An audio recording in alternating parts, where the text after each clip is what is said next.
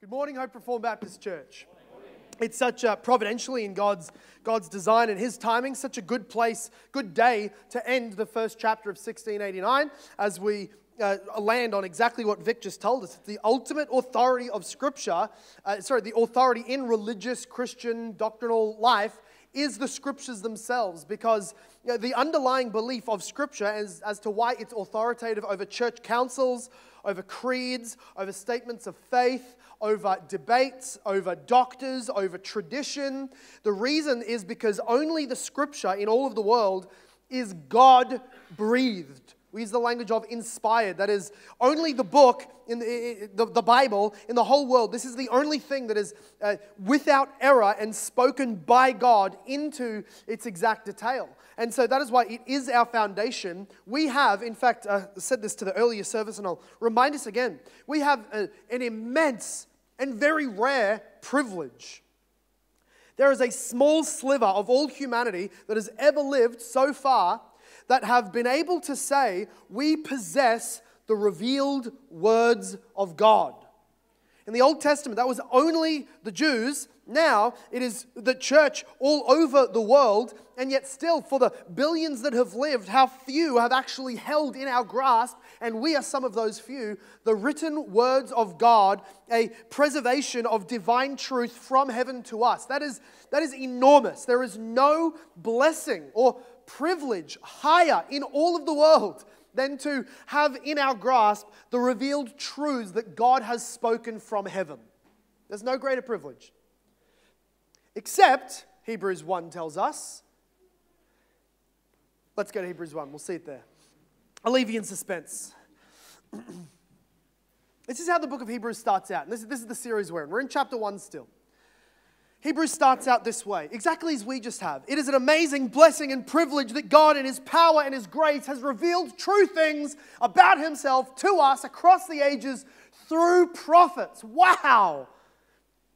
Long ago, at many times and in many ways, God spoke to our fathers by the prophets. Is there anything more glorious than that? Is there anything that is a higher privilege and blessing than hearing God's words through chosen spokespeople? The answer? No. Until Jesus comes, and then you realize the answer is yes, there is actually one more thing even better, and that is God Himself arriving. The prophets pointed to God. Jesus was the arrival of God. The prophets spoke truly and accurately about God who spoke through them. They spoke for God. Jesus didn't speak for God, he spoke as God. He was God. And so the verse 2 goes on to say, but he's not setting Jesus against the Old Testament. They had prophets. Oh, it's good to have somebody who speaks truly now. No, not what he's saying. Oh, they had the prophets who were liars, but now we have Jesus and he's good deal. No. He's saying God did speak truly through prophets. Wow. Yet, for all of their glory and majesty and the truth of their message, you know what they weren't? the prophets weren't God. And we don't blame them for not being God. It's simply a matter of physics and nature and ontological presence. They're not God. You know what Jesus is? He's not just the best, better, majestic prophet. He's not just the message of all the prophets. He is the God who spoke through the prophets. And so Hebrews says, But in these last days, he has spoken to us by his Son, whom he appointed as heir of all things, through whom also he created the world. He is the radiance of the glory of God and the exact imprint of his nature, and he upholds the universe by the word of his power. After making purification for sins, he sat down at the right hand of the majesty on high, having become as much superior even to angels as the name he has inherited is more excellent than theirs. For to which of the angels did God ever say, You are my son, today I have begotten you? Now, what's the answer? None. There's no angels God ever spoke that to. Or again, I will be to him a father, and he shall be to me a son. No angel heard that word. And again, when he brings the firstborn into the world, he says, Let all God's angels worship him.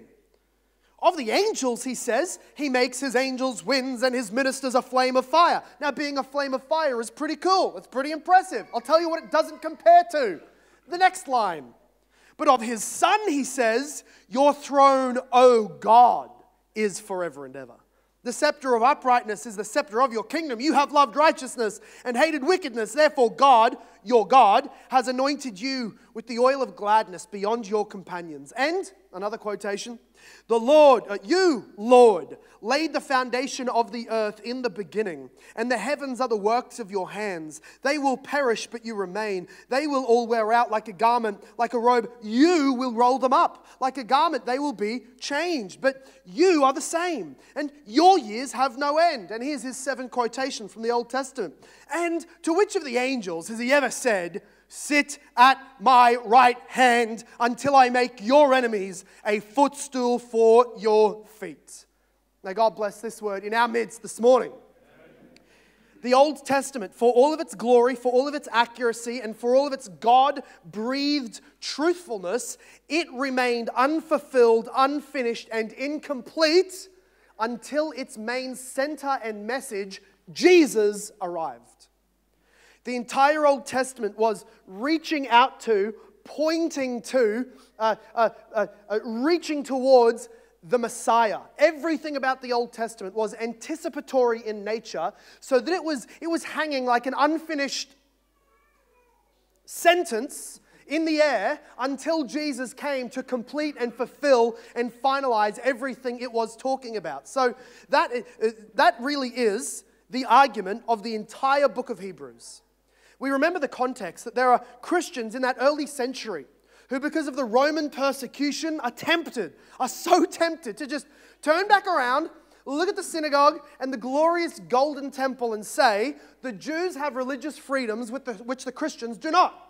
To worship Jesus can get you persecuted by the Romans, but to belong to Judaism, you have, a, you have a, a, an emperor signed contract of religious freedom. So I'll worship Jesus in my heart. I'll shrink back. I'll hide beneath. I'll run away and be behind the Jewish nation and their worship. And I'll worship Jesus in my heart. And the writer of the Hebrews calls that shrinking back. Don't shrink back. Go with Jesus outside of the city. Go with Jesus into persecution. Just never, ever leave behind Jesus. Here's what his argument is not. The writer of the Hebrews does not say, don't go to the Old Testament, instead, go to Jesus. He says, go to the Old Testament, and the Old Testament will point you to Jesus. It's not as if there's two alternative destinations. Oh, you could be an Old Testament believer and you'll look Jewish and you'll have the temple worship and the sacrificial system. Or you could be a Jesus worshiper and believe that he's the Son of God and Savior. No. The writer of the Hebrews says if you go back to the Old Testament system and, and you press ground level, you know where it spits you out? In the church of Jesus Christ.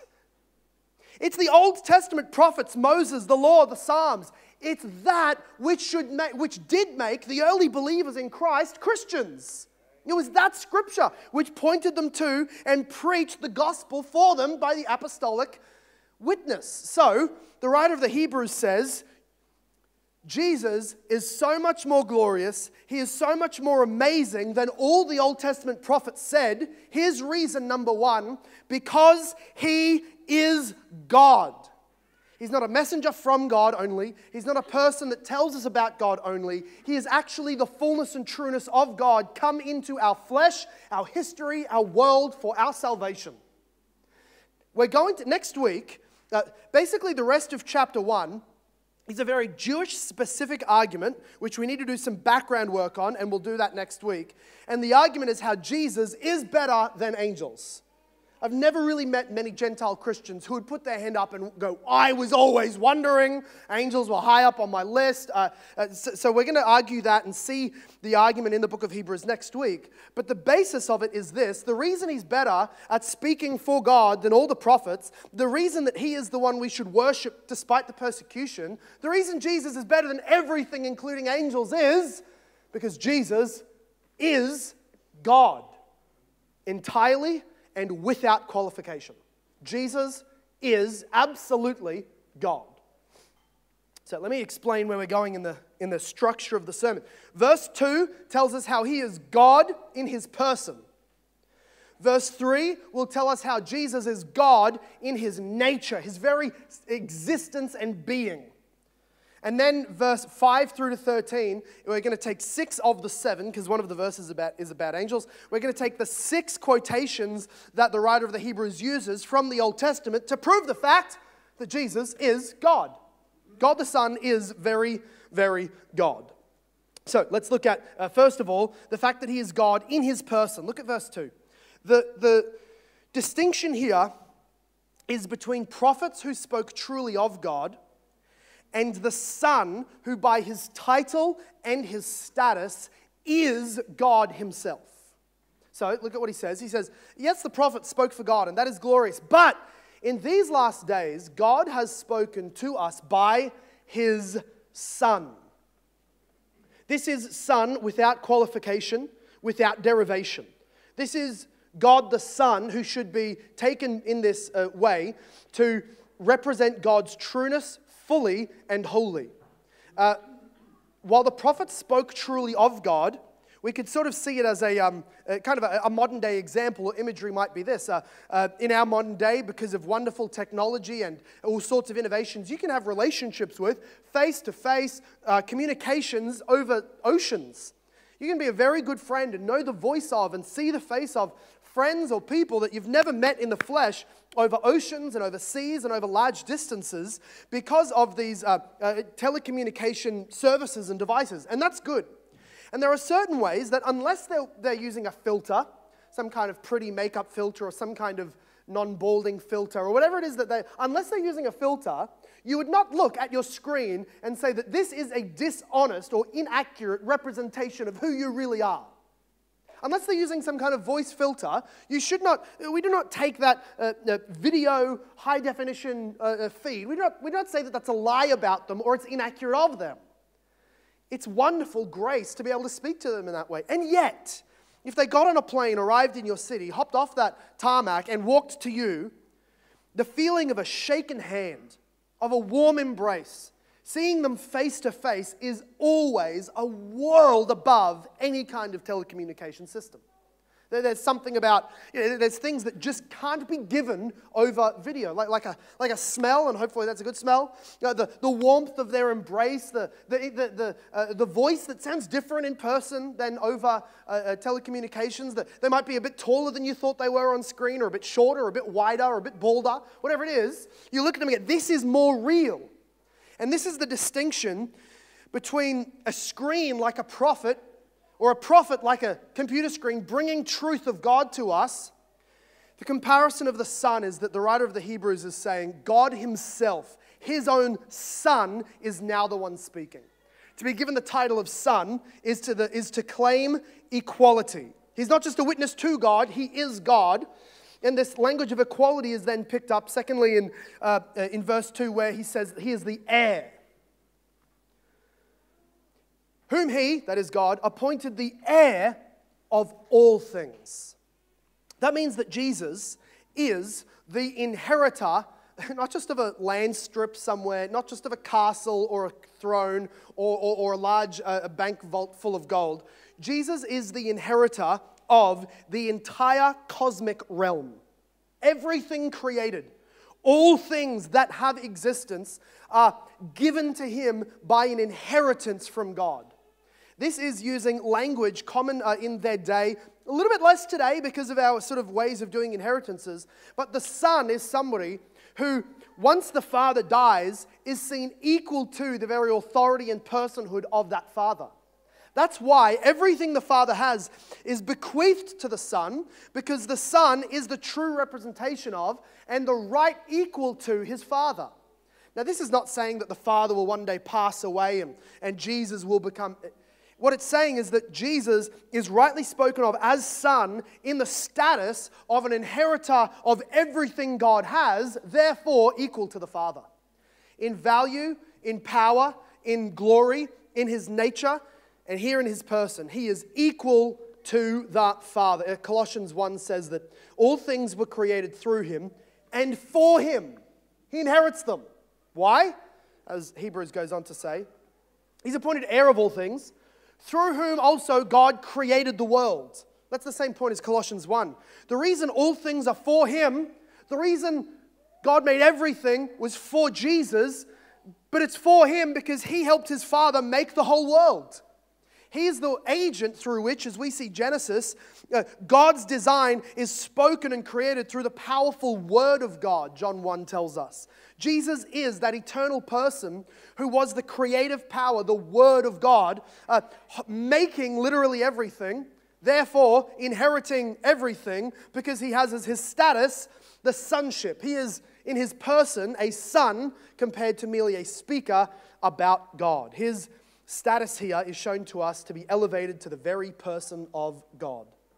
Now, sonship in Hebrew scripture uh, in the Old Testament is, uh, it's got a bit of a spectrum and it's not always literal. In fact, it's never literal. God would speak of the angels sometimes as sons. That's Daniel 4, Job chapter 1. Sons of God. We go, well, in what sense are they sons? Well, he's glorious, they're glorious. He's in heaven, they live in heaven. They're kind of, you know, they're, li- they're more like him than we are, it would seem. So they're his sons doing his work. That's one sense. Another sense that the scripture uses son is to speak of Israel, the nation. Because God had uh, taken Abraham and made out of him and his barren wife Sarah a family, and they grew to become a whole nation that God was preserving and multiplying for his own sakes in the world. He had chosen them and even created them out of thin air, basically, for his own glory and his purposes. So he says in Exodus chapter 4, as well as Hosea chapter 11 and Deuteronomy 1, God calls Israel his son. Well, because he's inheriting God's blessings, etc. That's true. There's another sense in which God uses the language of son, and that was to talk about King David from the Old Testament and all of King David's descendants who would rule on the thrones. They were sons of God.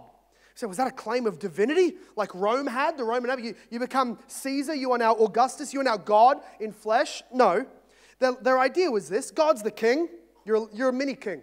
God rules righteously. Your job is to be like the Father in heaven and rule righteously. Uh, God protects his people Israel. Your job is to protect the people Israel under God. You're like a son to God. And we'll see more of that later on in chapter 1 of Hebrews. So these languages of sonship was used over um, created beings in the Old Testament at some times, but they always saw that it was a lesser degree and it was a status, hear this, it was a status, not the actual person's nature. David was called the Son of God in a status, but we know it's not really that he's a Son of God, not by nature. Uh, the angels were sons of God in that status. They're not really birthed or born out of God. Sorry, uh, Mormons, uh, your angel Moron or Moroni, whatever his name was, was wrong. We call it Jesus came, and he does not just have son as some kind of status applied to him, he is called Son by very nature.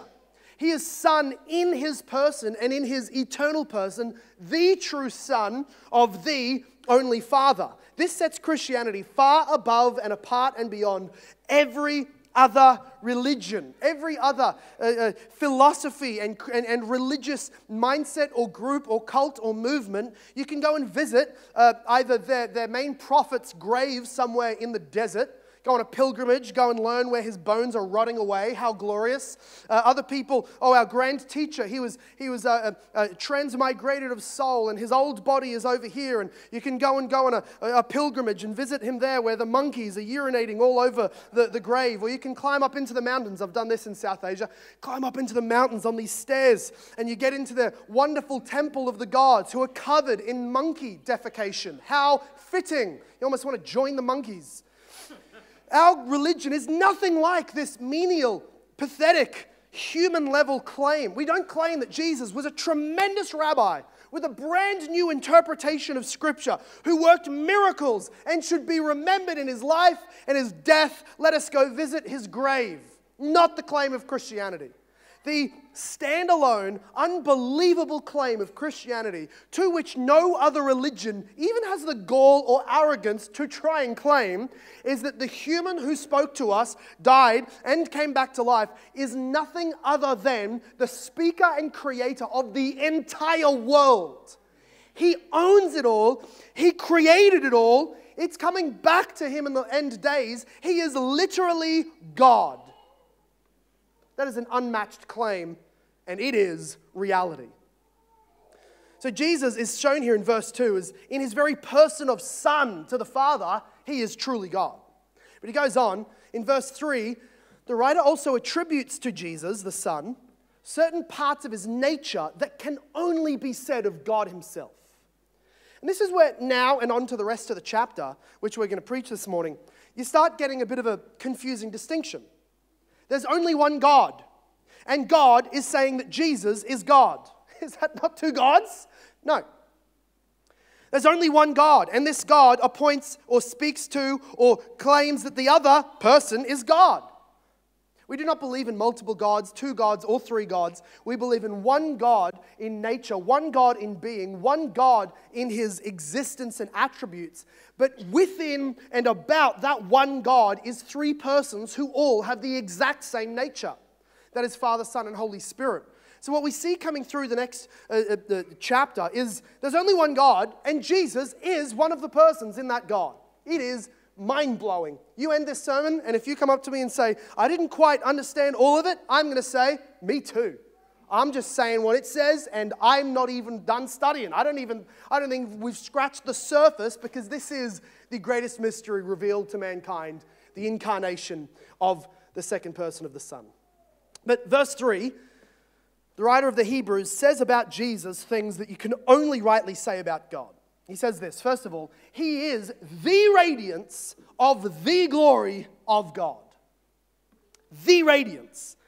Uh, the radiance of the glory in the Old Testament was external manifestations of God's perfections, holiness, and uh, uh, uh, uh, uh power. So we see usually they're a kind of radiance is a good word because they're kind of light focused images in the Old Testament.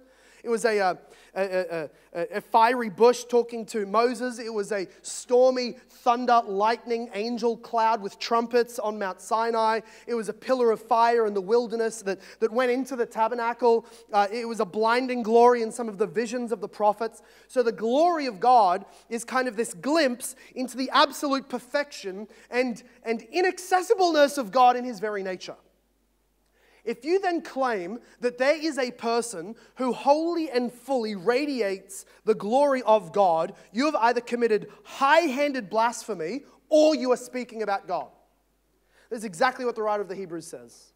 He says, The glory of God was shown perfectly and fully in Jesus. He is the radiance of God. Now, now all of those glories external manifestations in the Old Testament, all the fire, all the storms, a pillar from heaven of fire, those are glimpses into tiny little specks of the glory of God. They are not the radiance of God.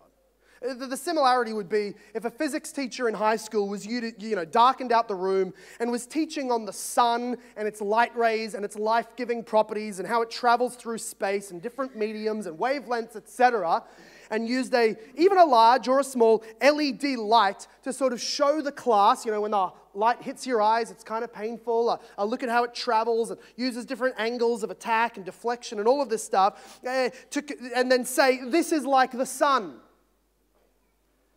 That display, though everything he says is true, to call that light like the sun is an extreme derivative sense. The comparison of that and then getting a huge NASA scale telescope, uh, pointing it directly at the sun at midday, bringing the high school students over and taping their face to it to look up at the sun, that would get him fired and likely the children a hole in the back of their skull. This is an accurate yet incomplete picture of the light of the sun.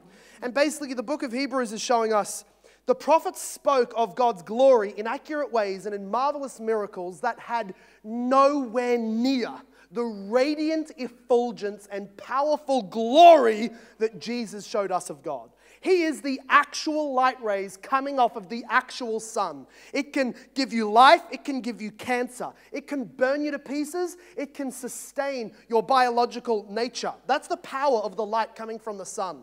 Some of your versions might say uh, effulgence in this word of, radi- uh, of the radiance of God's glory. He is the shining forth, absolutely, of God's glory. Not because he had a halo, not because fire followed him around in his earthly life, but because he was by nature God in essence. So he is the radiance of his glory. Not demigod, not semigod, not derivative. He is the fullness of God's glory. And then he says, and the exact imprint of his nature. This imagery now is not sun and light rays. Now he's using the, the, the, the, imagery of a stamp and the mark left behind by the stamp, an imprint. As a stamp is pressed upon maybe clay in the old, uh, olden days, or maybe a wax seal on a letter, as that stamp is placed upon the, uh, the, the, uh, the, whatever soft surface that is going to soon harden, the picture left behind is an exact imprint of the stamp, or it is not an imprint at all. It can be a, it can go wrong, it can be broken, it can, if it's inaccurate, then the stamp is not the real thing. His claim here is that if you study the nature, the essence, the being of God the Son, you will find the exact same essence, nature, being, and attributes as studying the Father. There is no distinction. There is no distinction between the being of Jesus, God the Son, and the being of God the Father. Uh, sometimes uh, uh, teachers like to use Venn diagrams. Right? You show similarities by here's one circle, and that's, uh, that's God the Father. And here's another, another circle, and that's God the Son. And look at the overlaps between them, and we'll write the, the, the overlapping principles in, in the wedge space there. Theologians explain that if we were to have a circle for God the Son's nature and a circle for God the Father's nature and put them on a Venn diagram, they would exactly and perfectly overlap with no distinction. It's called perichoresis. They both entirely, along with the Spirit, entirely exhaust one another's attributes. There is no more divinity in the Father than there is in the Son. Jesus, God the Son, is entirely holy, fully the exact imprint. He shares the nature of the Father. This would be the most blasphemous thing a Jew could say, who on one hand will chant, Hear, O Israel, the Lord your God, the Lord is one. And then say that there is a person who wholly and entirely exhausts the nature of that God and yet is distinct in person. This is the glorious nature of the Trinity.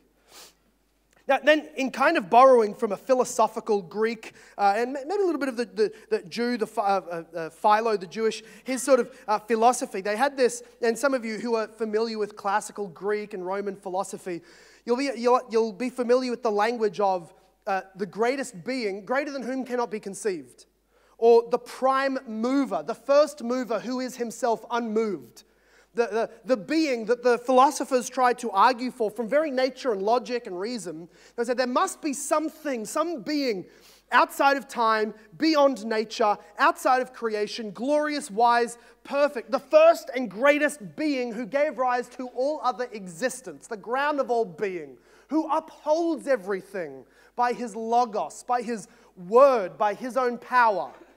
And that's the language that the writer of the Hebrews now uses of God the Son. His claim is that Jesus, God the Son, is the ground of all life, all being, and all existence by saying that he upholds the universe by the word of his power. The universe has existence by the say so of the crucified Son of God.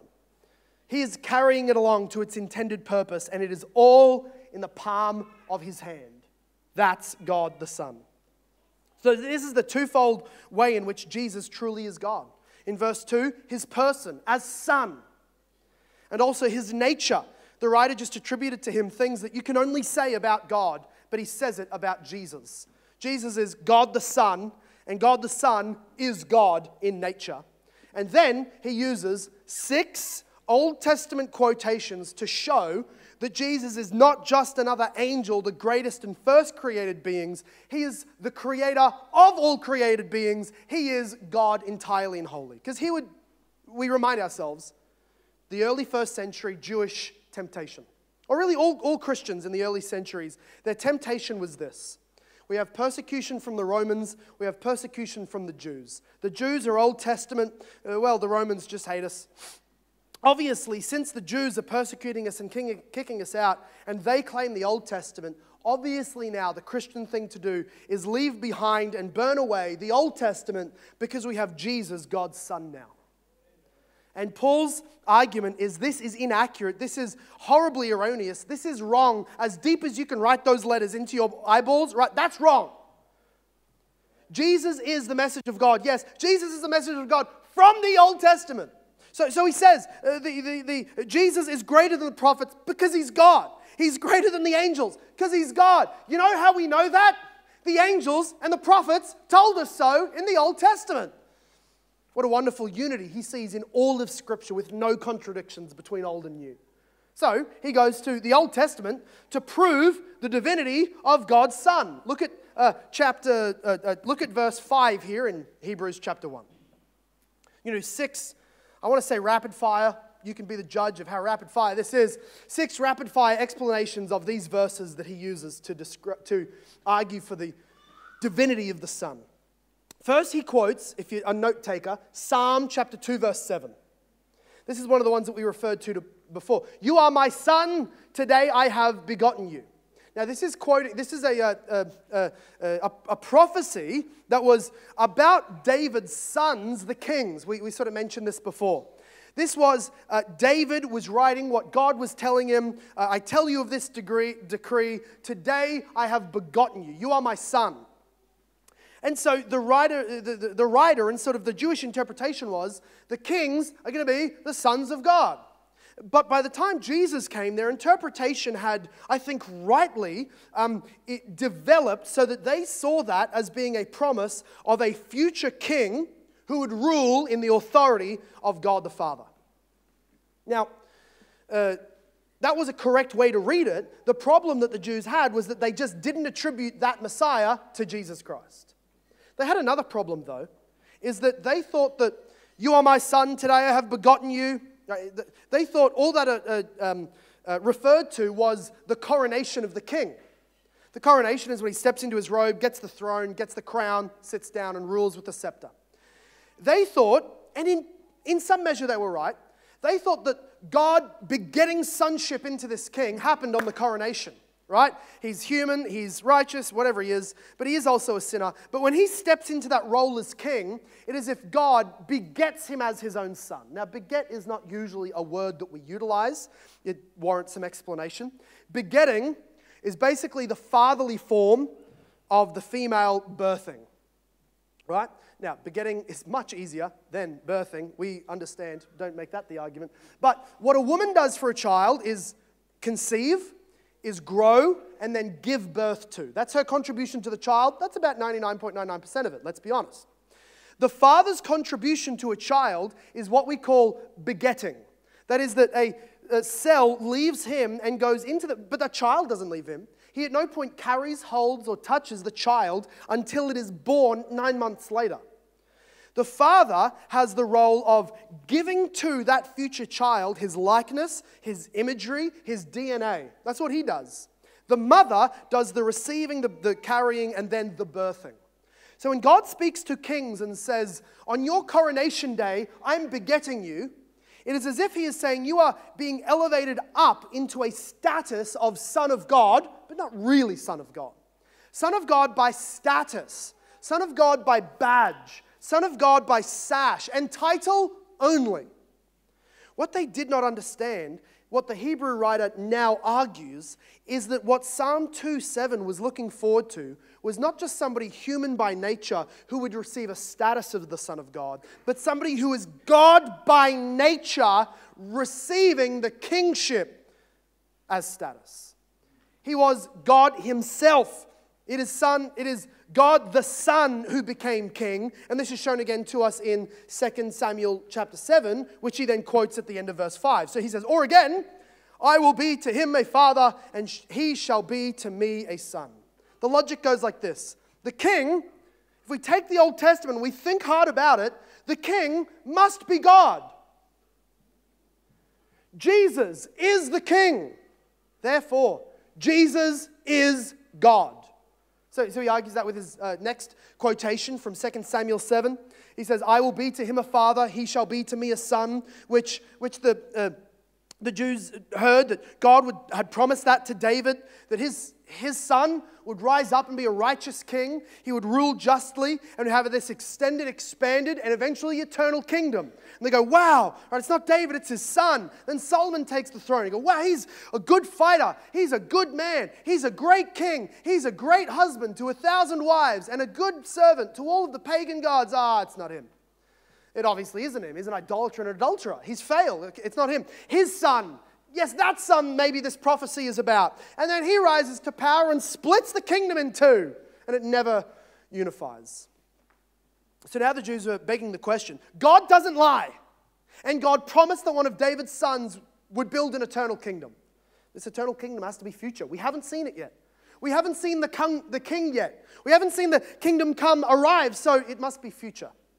Here, though, is where their logic stopped short. Why did all of the previous kings fail to truly be the Son of God? Because they were sinful humans. Now, you're going to, if what you're waiting for is a king to arrive who can be a perfect Son of God, you'll be waiting, as the Jews still are, for millennia upon millennia because that Messiah can never arrive. A human who is unsinful and not himself God doesn't exist. The writer of the Hebrews is saying this when God told to us that a human son of David would eventually rule and reign in perfection, and God would relate to him as son without qualification, then he was telling us in a veiled way there would be a king who comes who is not merely human who is not sinful. Therefore, he's sort of stepping back into the shoes of 2 Samuel and the Davidic covenant promise. And he says, when God promised there would be a king who would come, who would be perfect, he was promising us that that king would be God. For no one is perfect but God. So again, the argument is this the king must be God. Jesus is that king. Jesus is God. he goes to his third line of uh, arguing. Look down in verse 8 of Hebrews chapter 1.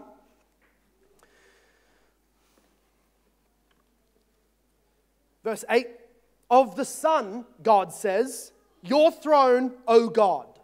Now, this is quoting Psalm 45. This is a very. Uh, uh, oh, sorry, we've, we've missed one, didn't we? You're allowed to put your hand up and say, I skipped over scripture uh, when I do that. Verse 6. Look at verse 6, first of all. That's a quotation from Psalm 97, verse 7, it's also a quotation from the same phrase in Deuteronomy 32. Verse 6, it says, When he brings the firstborn into the world, he says, Let all God's angels worship him.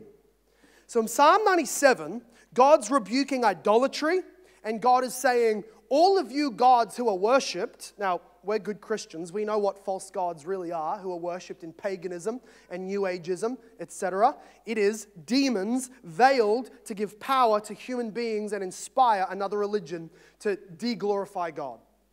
So when God speaks to false gods, he's actually speaking to demons. Maybe that extends also to unfallen angels. We're not entirely sure, but here's the command of Psalm 97 To all of the demons that are worshipped, and to all of the angels that see this, worship the firstborn son.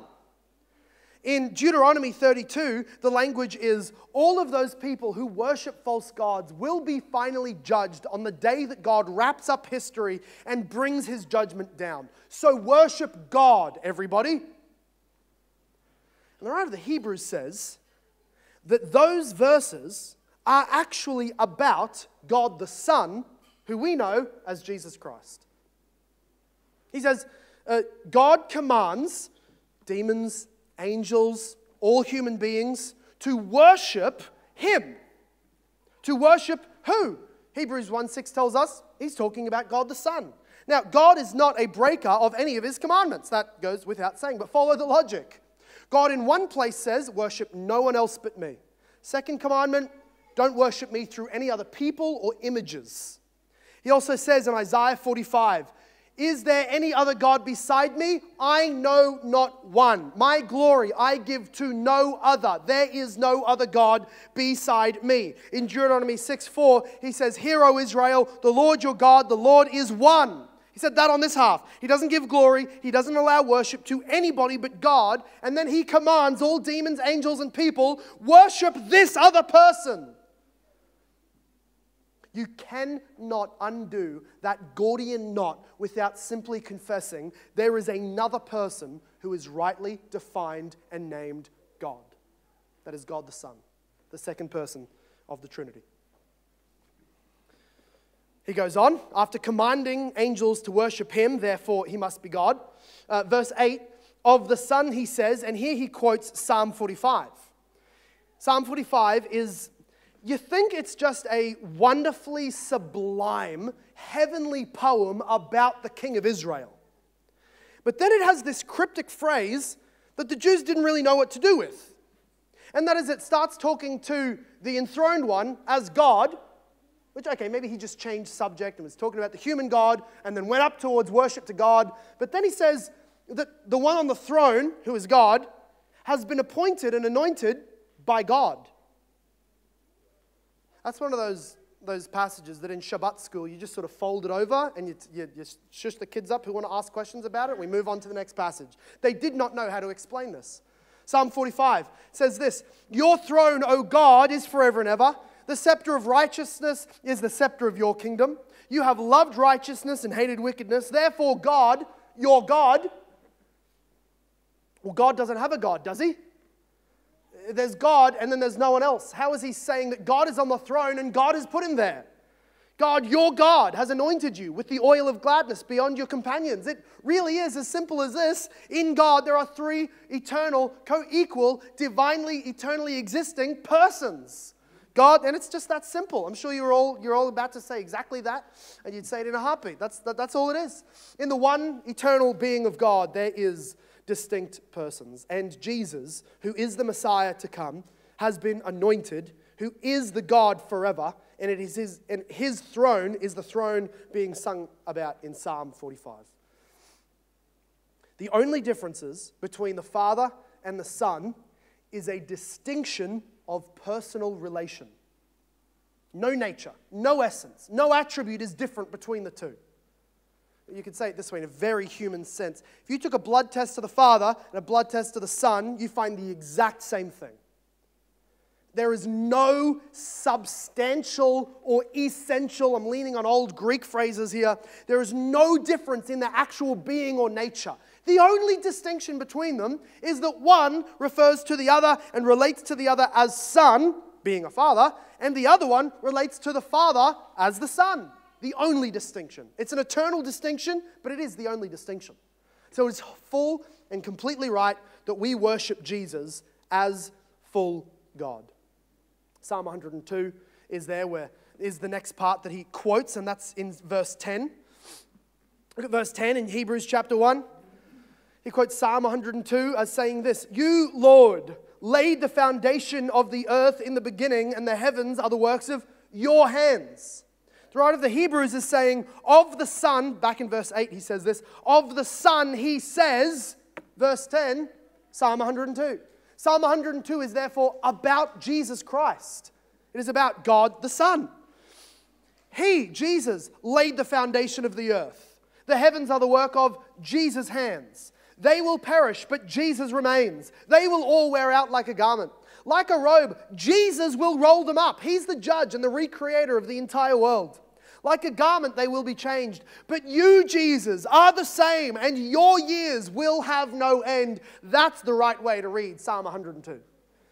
In fact, we could go back through the rest of the psalm and find other claims or other phrases about God and impute them to Jesus, as the writer of the Hebrews is telling us to do.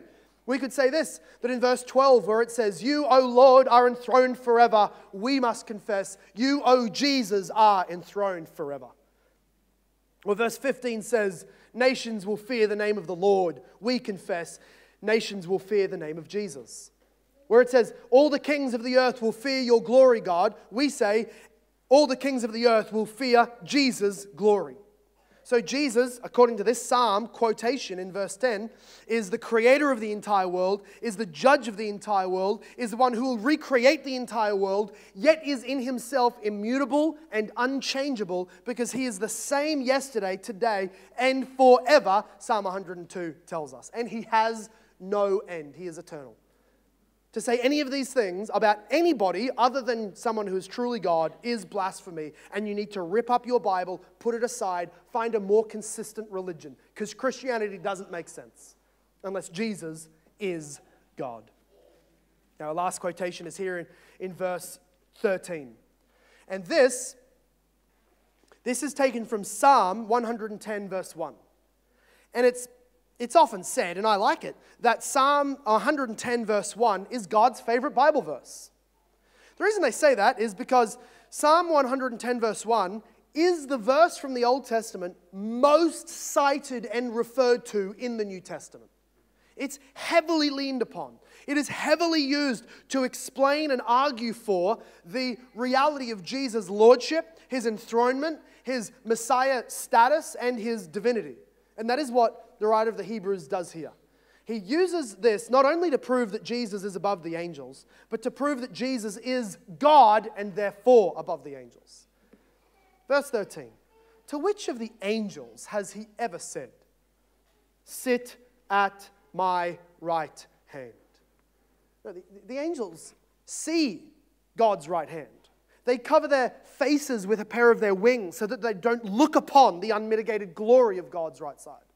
They, they fly above the earth, above the, the, the, ground in heaven, so that they don't even touch the same ground as the throne of God's right hand. No angel could ever conceive of, of being invited to sit upon the throne of God.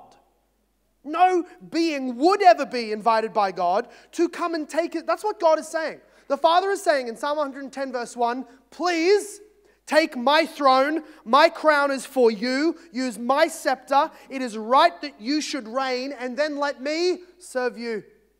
Let me gather your enemies, Psalm 110, verse 1 says. I will make your enemies a footstool for your feet. I will go throughout the world. I will control history. I will topple your enemies in such a way that a many large number of them are converted to serve you and, and be saved by you. They bend their knee willingly in their heart. But your enemies will also be crushed. They will bend their knees. Their tongues will confess that you are Lord, but your feet will be upon their throats, and your foot will be upon them like a footstool. That's what the Father says to this other person that he's talking to in Psalm 110, verse 1. It would be sheer blasphemy from the mouth of God Himself if that person he was giving the throne to was not by nature God. Distinct in person, but entirely equal in nature is the God who takes the throne, whose name, the New Testament tells us, is Jesus Christ, and whose name is the only name given by God under heaven by which we must be saved. This is where we're going to close out. Look at verse 3 of Hebrews chapter 1. Hebrews chapter 3 says, uh, sorry, Hebrews chapter 1, verse 3, the second sentence. After making purification for sins, he sat down at the right hand of the majesty on high. He sat down at the throne of God, as Psalm 110, verse 1 said. And verse 3 of Hebrews 1 tells us that's because he earned that place. He is right, it is good, he is qualified and anointed and appointed to rule over God's kingdom, to be the God enthroned forever, to be the Son who God is a father to, to be the Son of David and David's Lord. It is right that he is the king because he first humbly came and obeyed his father and gave out of love his own life into death on the cross and thereby made purification of sins. This is why there is such a thing as the gospel, as good news for sinners like you and I who have sinned against this God, the Son, who have sinned against His law, who have broken His royal commands. We are beneath the righteous scepter and holy judgment of God the Son, and He will judge every soul on the last day. But that same God the Son came to the earth and made purification for sins that was acceptable to God on the cross. Imagine, if you will, and we can't, but imagine, if you will, the power, the essential, vital power the sin cleansing, wonder working power that must be in the blood of one who is not just a man, good man, religious leader dying on the cross as an example, but God, very God in the flesh, God the Son, Jesus Christ, when He makes an offering for sin, when He gives His soul up to guilt, when He gives His body and His life over to suffer the condemnation and penalty that we deserve. When this God, when this Messiah makes a purification for sins, how potent and powerful its cleansing atonement must be. That's why there's good news for you and me. We are horrible sinners, and Jesus, the God man's blood, can and will cleanse you. And all you need to do is call on Jesus in this very way that he is presented this morning. You get none of his salvation if you deny his Godship. You get none of his mercy if you blaspheme him and say he is an angel, a first created being, a little lesser than God, but still very glorious. There's no salvation on those terms. But receive Jesus by faith in your heart that he is true God, become true man, and died for you, risen again to glorious life, and is now enthroned forever. You have all of God's mercy in the moment you believe. Let's pray.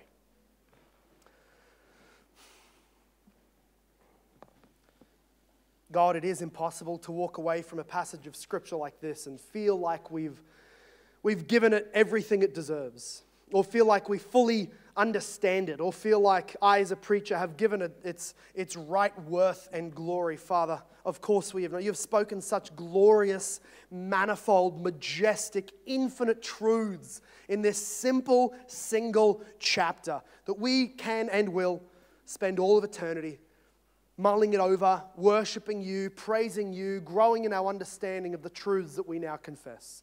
But you have spoken in a way we can grasp to some degree.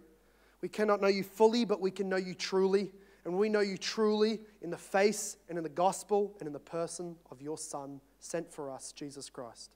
Pray, Lord God, that if there is any demonic questioning and doubts or uh, cultic or other religious uh, uh, blindfolds or strongholds on people's minds and souls, that you would slip them off as the clarity of Hebrews 1 tells them in their soul Jesus is fully God. Uh, anybody who is withholding faith in Jesus, who is not trusting in Him for their salvation, would you please at this moment destroy all other hopes that they seem to build up and throw their heart towards Jesus Christ? Would you, would you help them to see that Jesus, being God, is worthy of all of their trust and able to save them from all of their sin? Father God, would you exalt now you have done it in the word. Please now do it in our hearts, our souls, and in our song.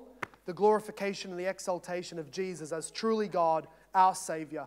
We pray with faith because we pray in His name. And everybody said, Amen.